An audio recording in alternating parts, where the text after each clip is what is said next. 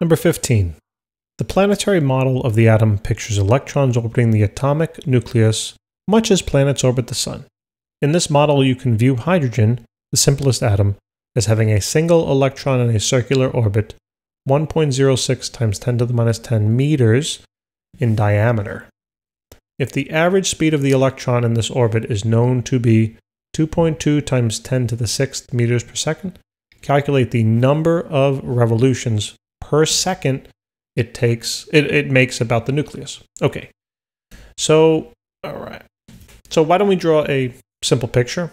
All right, so here's our nucleus and we have an electron orbiting that particular nucleus. So here out here I have my electron.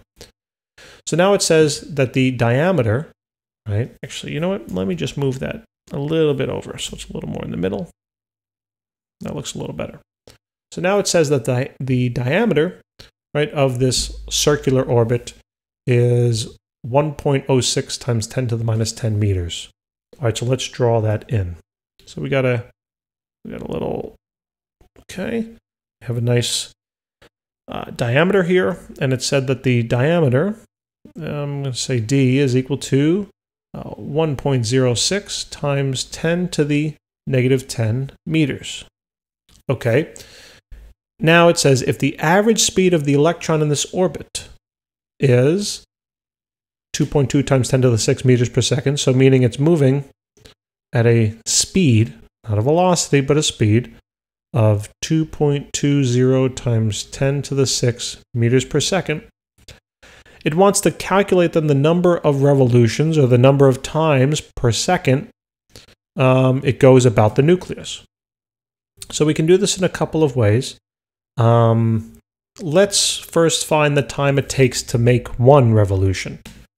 So in order to do that, we're essentially trying to find how long it would take for the electron to make this particular path or travel this distance. Now you might want to ask yourself, what is this distance known as in terms of a circle? Well, that distance is known as the circumference, right? Capital C. So, how do we calculate circumferences? Well, we know that the circumference formula is 2 pi r, right? Or pi d. Well, we can use either one, but it'd be a little easier to use pi d. Why? Because they gave us the diameter. So let's do that. So circumference is equal to pi multiplied by the diameter. And the diameter was 1.06 times 10 to the negative 10 meters. Okay, great. So let's plug that into the calculator.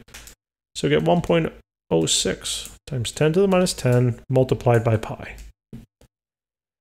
So we'll do three significant figures here. So it works out to be 3.33 times 10 to the negative 10 meters. Okay, that's the circumference. In other words, this is the distance, right? I'm just going to now rewrite it as the distance. So the distance it travels to make one revolution, that is, is 3.33 times 10 to the negative 10 meters. Okay, so if that's the distance, and they told us the speed, right? If we go back, they told us the speed. Can we find the time it takes to travel that distance? Sure, right? We need to know a mathematical relationship between the three variables. And the mathematical relationship is that the speed of an object, the average speed, is equal to the distance traveled divided by the time. Right?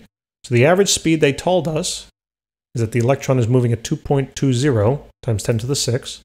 So let's plug that in 2.20 times 10 to the 6 meters per second. And that will equal the distance it travels, which I said in one revolution, we just calculated it, was 3.33 times 10 to the minus 10 meters. And now I can solve for the time, right?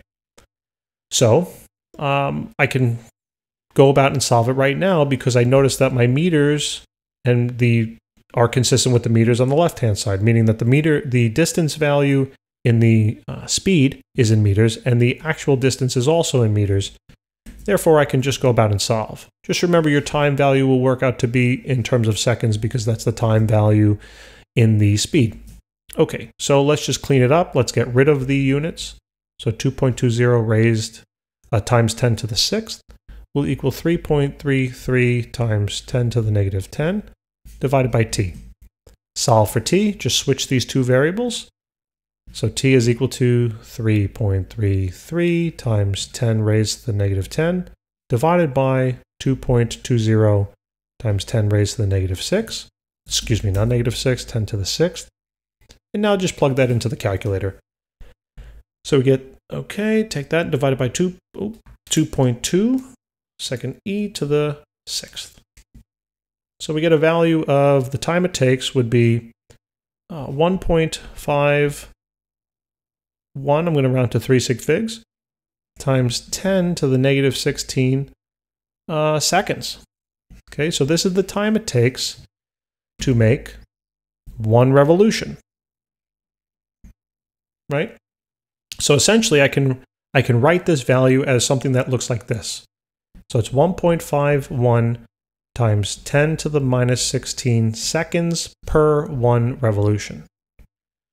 And now what we want to find is we want to find actually, take a look back at the problem, we want to find though revolutions per second.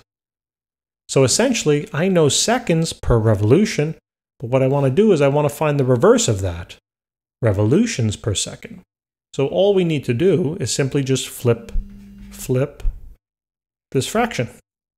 So now I'm going to put one revolution on the top and divide it by 1.51 times 10 to the minus 16 seconds. This will now tell me revolutions per second. So simply just plug that value into your calculator. So 1 divided by 1.51 times 10 to the minus 16 works out to about, and I'm going to round, so this works out to approximately, I'm going to write it be uh, below, uh, 6.61 times 10, again, three significant figures, to the 15 revolutions per second. So that's how many revolutions it would make. A whole bunch. Okay, so that takes care of essentially part A. Now for part B, says what is the electron's average velocity? So um, the object is moving, the electron is moving in a circular orbit, right? So we have to know where it starts and where it ends. But let's just assume, because we're talking about revolutions, right? If we're any, if it makes one revolution, so let's say the electron starting here, okay? If it starts here and makes one revolution, it would also end in the same spot. So remember what that means in terms of velocity. Okay, I'm going to write the formula on the upper right-hand corner. So average velocity is equal to the average displacement divided by the, not the average displacement, but the change in displacement, but divided by the change in time. So writing out the change in displacement, I can write the final displacement minus the initial displacement divided by the change in time. So what's the displacement value at the end, meaning when it makes one full revolution? Well, I don't know. Just call it just call it x. And then what's the displacement value when it starts or where it starts? Well, it's the same thing, right? Because it started and ended at the same point. So I would call that x as well. Well, what's x minus x? Zero. And what's zero divided by t? Zero. So that would be your average velocity. Thank you guys for tuning in. Hope this helped.